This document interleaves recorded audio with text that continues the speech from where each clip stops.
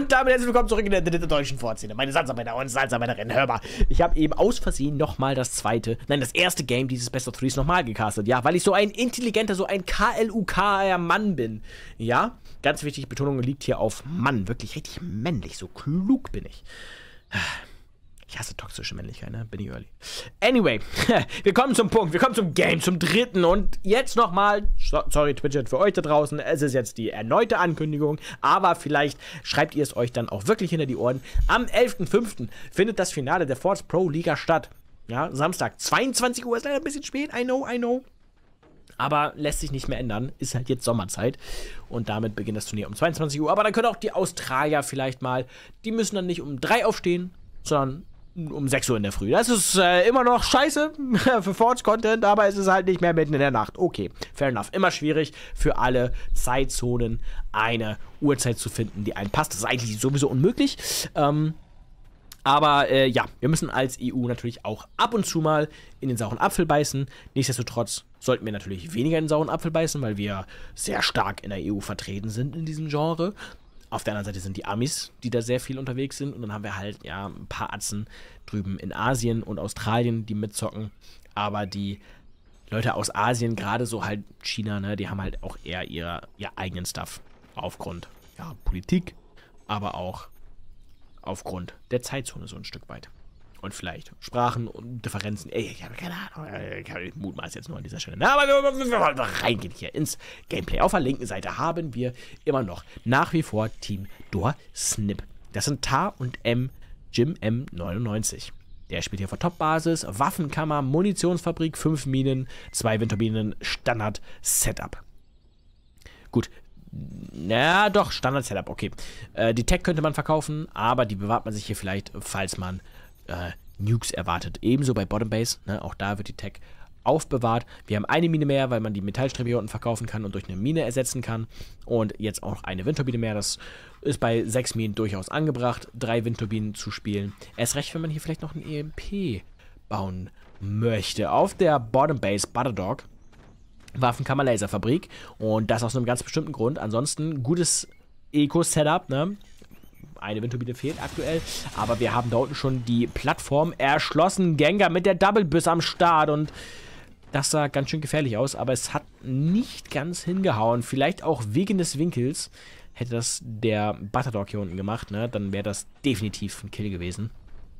So, leider ganz knapp gar nicht. Wir probieren es nochmal hier oben, aber auch da wird schon Defense mehr oder weniger reingezogen. Und wir haben bei Gengar zwei Nukes. Nun, das wird interessant. Das werden Portal-Nukes werden. Und da oben können auch nochmal zwei Nukes hin. Wenn man sich jetzt das hier aufbewahrt, die Swarms schon mal portelt, rüberschießt, mit Biss zusammen, könnte man hier vielleicht sogar den Kern kriegen, ne? Hier zwei Biss rein, zwei Swarms hier reingepainted, Metallstrebe kaputt, zwei, drei Swarms im Kern, kaputt. Aber das wird nicht gemacht. Stattdessen werden die Biss nochmal aufgebraucht, um hier ein paar ähm, Windräder wegzusägen, auch vollkommen fein. Jetzt verbinden wir uns hier oben hin. Wir, wollen, wollen wir da Waffen bauen? Was wollen wir da oben? Wir schon mal gar nicht, ne? Aber äh, Howie sehe ich noch nicht, also die Storages. Bottom Base holt sich noch ein Upgrade Center, geht Full Eco basically. Will aber auch irgendwie schon Waffen bauen oder so. Ich weiß es nicht ganz genau. Auf der rechten Seite haben wir den ersten Plasmalaser platziert. Der braucht zwar relativ lange. Da oben haben wir die erste Nuke und noch einen dritten Schwarmraketenwerfer. Hier kann man ein Portal ranbauen. Und das bräuchte dann... Die Schwarmraketen bräuchten dann noch ein neues Portal. Ja, aber äh, so weit, so gut eigentlich, ne? Oben 1,20er. Okay, wir sind jetzt Scattershot. Ich habe es doch gar nicht erwähnt, glaube ich. Auf der linken Seite sind wir Scattershot. Das heißt, du willst eher 20er bauen, denn mit der aktiven Fähigkeit machen die echt brutal viel Schaden. Und äh, damit kann man durchaus äh, das ein oder andere Game gewinnen, einfach dadurch, dass man den Gegner so weit unterdrückt, dass man die Oberhand gewinnt bis zu einem kritischen Punkt. Auf der rechten Seite sehen wir Architect, ein Commander, der, wenn er die aktive Fähigkeit zur Verfügung hat, sehr, sehr, sehr, sehr, sehr, sehr schnell bauen kann. Ja. Hält nicht mehr so lange, wurde ein bisschen genervt, die Fähigkeit. War damals sehr, sehr, sehr stark. Jetzt ist sie solide, würde ich behaupten. Ähm, durchaus ein Commander, den man spielen kann. Ein Commander, der gut ist gegen Nukes, weil du schnell Wood spammen kannst. Der gut ist, wenn du viel Ego hast. Der gut ist, um Waffen wieder mal eben schnell hervorzubringen, wenn du sie verloren hast. Und ja, ansonsten kann der Commander nicht mehr so viel. Ne? Also schnell bauen ist eigentlich so sein Gimmick. Sowohl mit der passiven als auch mit der aktiven. Es recht mit der aktiven. Ja, so viel zu den Commandern. Bei Scattershot sei noch gesagt, du kriegst so einen kleinen mh, hm, Zielbogen. Ja, also darfst einmal kurz Hacker spielen und weißt, wo deine Schüsse hingehen werden, ganz grob. Also nicht ganz grob, schon relativ genau. Ähm, das hilft. Ja, das hilft in einigen Situationen. Den richtigen und wichtigen Shot zu platzieren. Feuerplasma. Feuer leider daneben. Plasma gut getroffen. Aber die Hintergrundholzstreben halten. Und damit geht es den 20ern soweit auch noch ganz gut. Ich entschuldige mich nochmal, dass ich immer noch so verschnupft bin. Es ist, äh, ja, für euch auf YouTube zieht sich das natürlich ganz schön, weil ich das relativ nah aufeinander aufnehme für euch, die Casts. Dementsprechend, äh, ja. Aber sonst äh, hätte ich es wahrscheinlich nicht geschafft. Na? Ne? Wie gesagt, äh, Stand jetzt der Aufnahme sind es noch 10 Tage bis zum Finale und äh, eigentlich haben wir noch vieles zu produzieren. Aktive Fähigkeit, 220er. Feuerlaser als Verteidigung. Aber das reicht natürlich nicht, wenn die Dinger von oben kommen. Und zack, Exposed Plasma-Laser. Aber jetzt kommt aktive Fähigkeit von Architect. Ja, ihr seht es. Zack, bumm, weg, zugebaut. Gar keine Chance. Dem Plasma-Laser geht es also noch relativ in Ordnung. Eco wird jetzt ausgeweitet hier unten. Erstes Upgrade auf die Mine. Richtig und wichtig, hier unten müssten auch noch Minen kommen, vielleicht ein Schild oder so. Da haben wir jetzt Flachs, hier haben wir erstmal Defense, ne, weil da, da, da kommt echt einiges. Also, der, der Gänger, der, der, ist halt, der, der betreibt gerade, ja, weiß ich nicht, Bob der Baumeister, der, der ist Aufbausimulator. Sniper auf der linken Seite definitiv etwas, was sich Team 1 vielleicht mal zulegen sollte. Also, der, das, ist, das ist alles exposed hier. Es könnte so weggesniped werden. Gerade mit der aktiven Fähigkeit hast du auch noch einen Doppelschuss auf den Sniper mit Scattershot. Ja, das könnte man so entspannt nutzen. Zwei Sniper hier rein, um das mal eben rauszunehmen alles. Das wäre so schlimm für Team 2. So, so, so schlimm. Verfehlte Möglichkeiten, meine Damen und Herren. Verfehlte Möglichkeiten. Drei Swarms, drei Nukes. Und so langsam sitzen auch die Portale, ne? Die können sowieso, ah, wobei der kann jetzt vielleicht nicht mehr unbedingt ganz schießen. Hoppala. Und das wird gerade verbunden. Da sitzt der Sniper. Gleich geht das Fratzengeballer los. Wir haben vier Gunner, drei Flags, ein Gunner, der jetzt nicht so viel macht, eine Flag, zweite Flag. Und das war's. Hier unten vielleicht noch Gunner wäre nicht schlecht. Shotgun hier wäre nicht schlecht. Jetzt werden die Gunner hier verkauft. Okay. Und Drei Flachs wurden hier gebaitet. Aktive Fähigkeit auf der linken Seite fast wieder aufgeladen. Noch nicht ganz. Es fehlt noch ein Müh. Imagine, man hätte einen Sniper, mit dem man jetzt Nuke rausnehmen könnte. Aber da, guck mal hier. Ja, ja, nein. Komm schon. Ja, wunderschön. Ne, richtig und wichtig. Klar kann man auch das 20er nehmen, aber das ist einfach nicht so ganz präzise. Äh, das wird jetzt hier noch verkauft. Das wird doch wohl noch das, der letzte Schuss. Ja, guck mal hier. Ne, geht auch noch kaputt. Also zwei Swarms weniger. Und jetzt hat man ja drei Nukes und eine Swarm. Beziehungsweise erstmal wird nur eine Nuke geschossen. Aktive Fähigkeit. Auf der linken Seite gleichzeitig am Start. Plasma-Laser. Rechts versucht ihr den Dorsnell, aber das Fort wackelt zu sehr. Und von oben fallen hier dauernd Dinge runter, ne? Manchmal catchen mich so kleine Dinge, die total unnötig sind. Die ich dann einfach kommentiere, anstatt mich aufs Spielgeschehen zu konzentrieren. Ha. Tja. Ja, Schocker mittlerweile am Start, ne? Patadog macht hier genau das, was er machen muss. Braucht hier Mittel und Wege, um die gegnerische Anti-Air rauszunehmen. Vielleicht noch einen AP-Sniper. Ähm, zwei Feuerlaser hat er jetzt am Start. Es würde wahrscheinlich nicht schaden, noch einen Feuerlaser oberhalb des Plasmalasers zu bauen, um einfach noch einen anderen Winkel zu bekommen. Um die Nukes zu verteidigen vor allem. Da kommt jetzt eine vierte Nuke. Was wollen, wir, was wollen wir denn mit vier Nukes? Das ist ja... Das ist ja komplett Madness. Und da kommt das Gerät auch schon frontal zugeflogen auf Tar. Aber der wehrt das erstmal ganz entspannt ab. Der hat jetzt hier Minigunner, mit denen er sich auf die Portale konzentriert. Und damit bekommen die Geräte hier oben ein bisschen Schaden, aber jetzt auch gerade nicht so viel. Also es hält sich mehr oder weniger in Grenzen. Gut, wir haben da noch einen Sniper, eine Windturbine bekommen.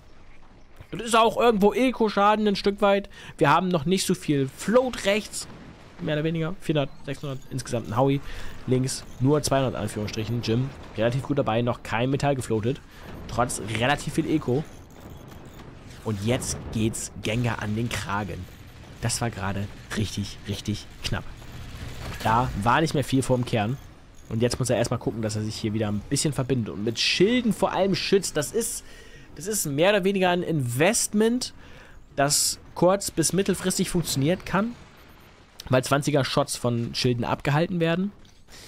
Ähm, aber vier Windturbinen reicht nicht aus und Portale kannst du damit erst recht nicht betreiben nach oben drauf. Ihr seht es, Gengar hat jetzt eine Energieproduktion von 142 Energie pro Sekunde, Butterdog hingegen 500. Ne? Und der, ja, okay, vielen, vielen Dank, Sumo Fischi.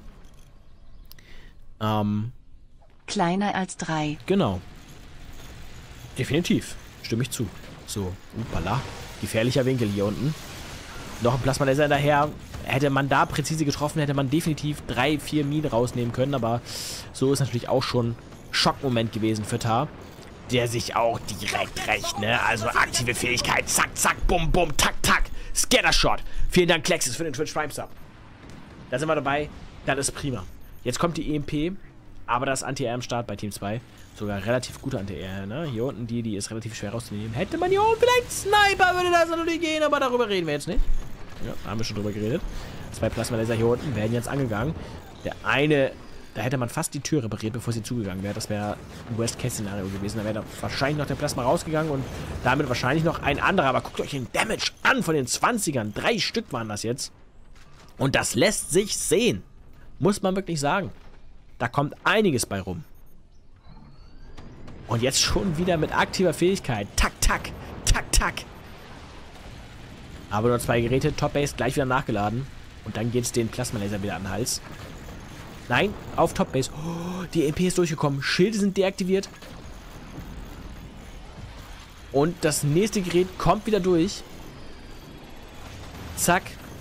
Und da wird gnadenlos rübergeschossen. Ja, man braucht da schon etwas mehr Anti-Air, wenn man sich mit Schilden verteidigen möchte. Das ist also ja Gunner definitiv etwas, was man hier haben möchte. Hier unten wird jetzt Stress gemacht auf die paar Waffen, die noch vorhanden sind. Zwei Feuerlaser raus für Butterdog, aber auch schöner Countersnipe. Ne? Die Türen sind einfach groß wie Scheunentore und damit macht es einem der Gegner schon recht leicht mit einem Plasmalaser zu durchsnipen. Muss man ganz ehrlich sagen. Ein Sniper würde wahrscheinlich auch schon funktionieren. Um die 20er rauszunehmen. Nichtsdestotrotz muss man auch erstmal treffen. Ja, das ist ein Winkel, den, den, ah, der, der, der von hier oben da unten rein. Auch hier der Kerl mit drei Sandsäcken ist nicht sonderlich gut verteidigt, ne? Ist einfach nicht sonderlich gut verteidigt. Das Problem ist jetzt hier oben, dass du halt die Türen hast, ne? Drei Stück, relativ weit vorne als Verteidigung gegen Feuerlaser. Wenn du die jetzt hier so einziehen würdest, könntest du vielleicht einen flacheren Winkel gewährleisten. So musst du gucken, wo du bleibst. Und hier wurde das nächste 20er gedorsniped. Ah, Butterdog kämpft sich nochmal zurück, aber der, der erleidet gerade ordentlich Damage. Von Topbase. Und nochmal ein 20er obendrauf. Und die Schüsse gehen überall rein. Und da, da, da sind einige Windturbinen jetzt gefallen. Gleichzeitig Topbase quasi ohne Waffen. Aber jetzt kommen da nochmal ein paar Sneaky Nukes. Minigunner sind einsatzbereit oder auch nicht. Aber die Flaks sind am Start und retten den Tag. Gleichzeitig schöner. Ah, da rächt sich jemand. Da hat jemand keinen Bock, dass einem die Windturbinen ständig zerschossen werden. Und dementsprechend, wie du mir, so ich dir.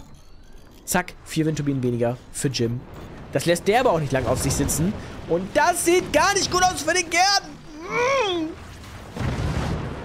Ganz knapp überlebt hier Butterdog. Aber auch wirklich um ein Mühe hier in den Schild rein. Also ich glaube, hier sollte wirklich, diese Verbindung sollte doch ziehbar sein. Ansonsten diese Strebe nehmen, darüber ziehen, hier Schild draus machen. Oh, schöne EMP, wirklich. Also zwei, vier, fünf Windturbinen sind da gerade disabled. Das ist frech. Das ist, und da kommt jetzt der Howitzer. Oh, guckt euch an, wie er da sitzt.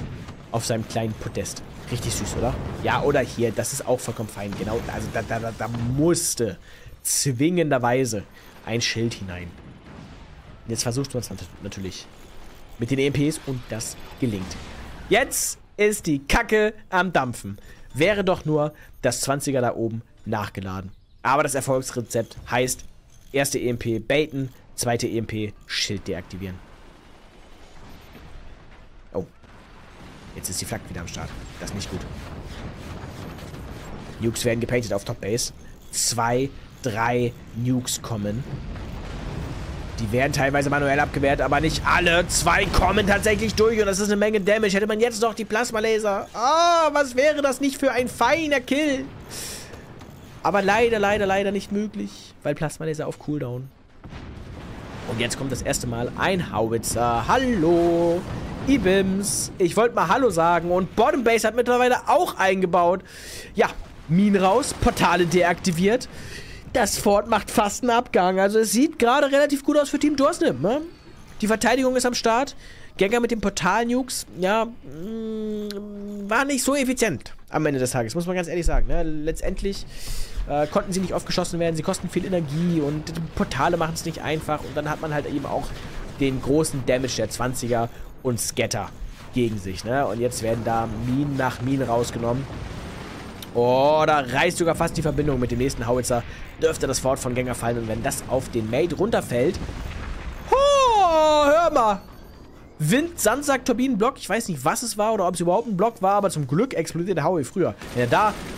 Das wäre gerissen, bumm, tot, beide. Bumm, tot, beide, Alter. Das ist schon wieder... Also wir sind hier grammatikalisch auf was ganz Feinem auf der Spur. Ich krieg so ein bisschen Shakespeare-Vibes, muss ich sagen, ja bei dieser erlesenen Wortwahl und der feinen Würze an Wortwitzen und auch der Verspieltheit der Sprache. Mamma mia. Hi Ali, wie geht's? Gut und selbst. Besser als Butterdog und Gengar. Die werden hier gerade relativ stark zu Käse verarbeitet.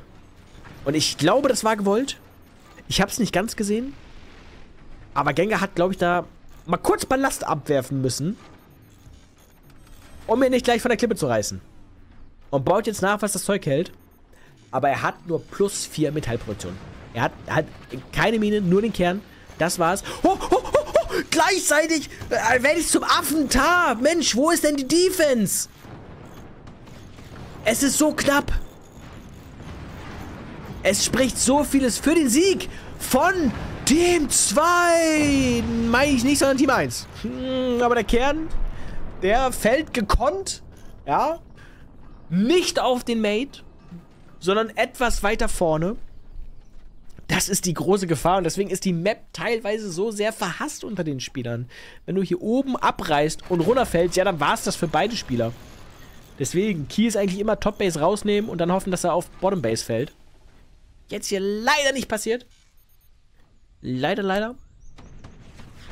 Für Team 1. Zum Glück. Für Team 2. Ich habe, glaube ich, noch nie so behindert zum Glück gesagt. Oh, oh, oh. Ah. Jo. Ei. Kennt ihr das, wenn ihr so Eis esst und das so auf den Zahn kommt und so voll kalt ist? Das Gefühl hatte ich gerade, als ich die beiden Plasmalaser explodieren gesehen habe. Oh, das, das war nasty. Das war schon unangenehm. Unangenehm. Er kann sich natürlich jetzt hier zu seinem Mate verbinden, aber was, was bringt ihm das großartig außer einem Tag und ein bisschen Strom?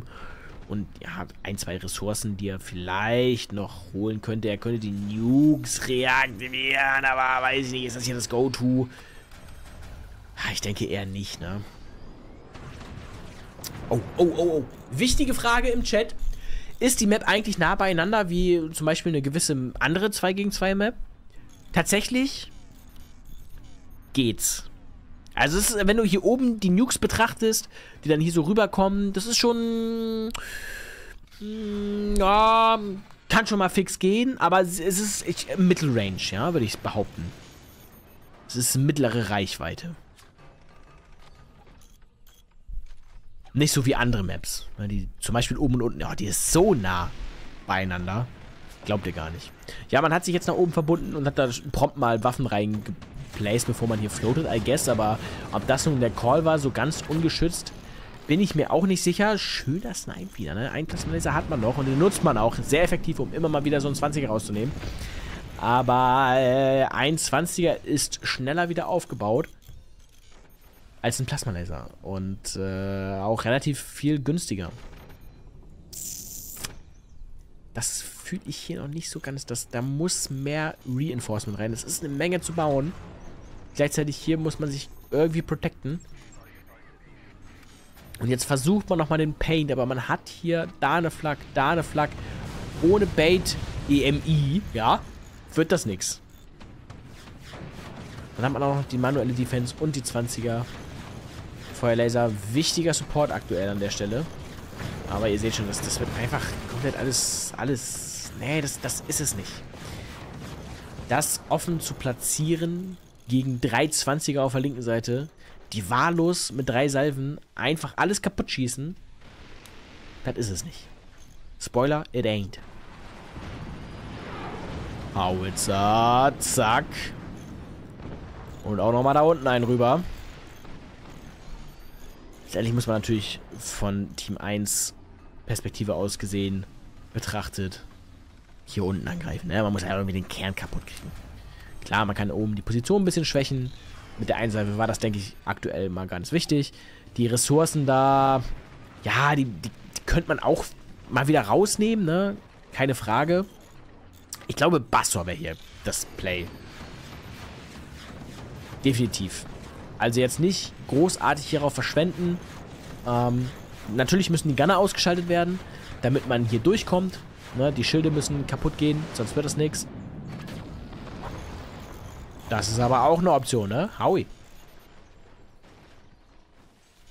Einfach rein in den Kern.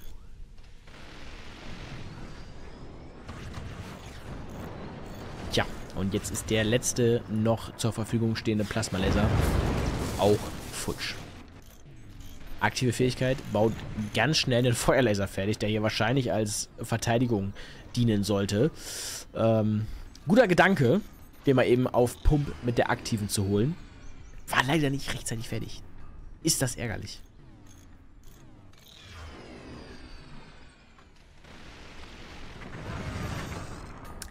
Die Dinge offen zu platzieren, macht es nicht, nicht besser, ne? Also... Da sitzt leider aktuell zu viel Damage auf der linken Seite.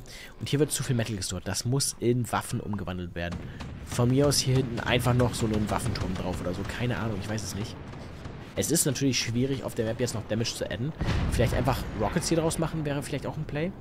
Dann noch mit Shotguns arbeiten. Ich meine, man hat ja schon die Minigunner. Man braucht Damage. Wir, wir floaten gerade schon wieder. Wo es anfangs noch relativ gut bei beiden Teams aussah, sind wir jetzt schon wieder bei vier gefloateten Howies. Ebenso auf der rechten Seite bei einem einzelnen Spieler, ne? Also, ganz klar. Der Klassenunterschied äh, ist da, sag ich mal. Und der Kern, dem geht es jetzt auch nicht mehr so gut. Mit der aktiven Fähigkeit, 220ern, kommt man schon relativ gerade rein. Relativ tief. Relativ tief. Oh, Zungenbrecher, ja. Aber guck mal, da haben wir nochmal einen Paint. Ist das hier nochmal das alles verändernde Momentum? Sah nicht schlecht aus. Aber es war doch etwas. Hey, hey, hey, stopp, stopp, stopp, stopp. Spielstopp, Shiri, Videobeweis. Hallo. Du, wir können das Spiel jetzt nicht mit so einer random 20er-Salve beenden. Hallo.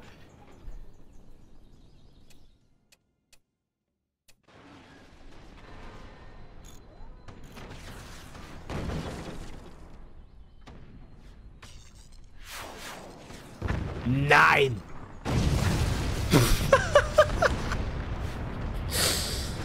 Nein! Er hat einfach einen Flipper in seinem eigenen Fort gebaut. Einfach einen Flipper. Und das Ziel, das oberste Loch, war eine Batterie. Und das wurde getroffen. Was willst du tun? Einfach ein Flipper. Meine Damen und Herren. Das war ein weiterer Forts Pro Liga Cast. Dosnip nimmt den Sieg davon gegen Team Giat. GGVP an beide Teams. Gut gekämpft. Schöne Spiele. Mein Name ist Salsi, wie ihr sicherlich wisst. Wir hören uns beim nächsten Mal. Ich wünsche euch was. Haut rein. Tschüss.